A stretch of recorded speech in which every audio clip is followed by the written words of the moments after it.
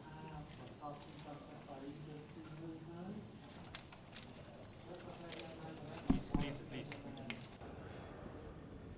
នៅក្នុងចោលបងទាំងអស់អស់លោកលោកស្រីដែលជាអ្នកយកសារព័ត៌មានឥឡូវនេះគឺថាកាន់តែខិតចិត្តគ្នាហើយ ក៏ប៉ុន្តែ យើងត្រូវការពេលវេលាបន្ថែមទៀតពីព្រោះបញ្ហាវាច្រើន ស្ថាប័នក៏វាមានលក្ខណៈសំខាន់ច្រើនក្នុងការកែតម្រង់ប្រទេសជាតិរបស់យើងដូច្នេះយើងទាមទារពេលវេលាដើម្បីធ្វើការ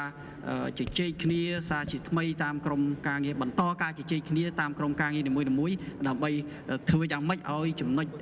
រួមរោគចំណុចរួមមួយឲ្យបានក្នុងពេលឆាប់ៗខាងមុខនេះគឺមុន យើងកំពុងស្ថិតនៅលើផ្លូវក្នុងការរកដំណោះស្រាយរួមគ្នាហើយអញ្ចឹងសូមមេត្តាអត់ធ្មត់បន្តិចអូទុកពេលវេលាឲ្យគណៈបកទាំងពីរគឺថាបន្តពិភាក្សាគ្នាតទៅទៀតបាទ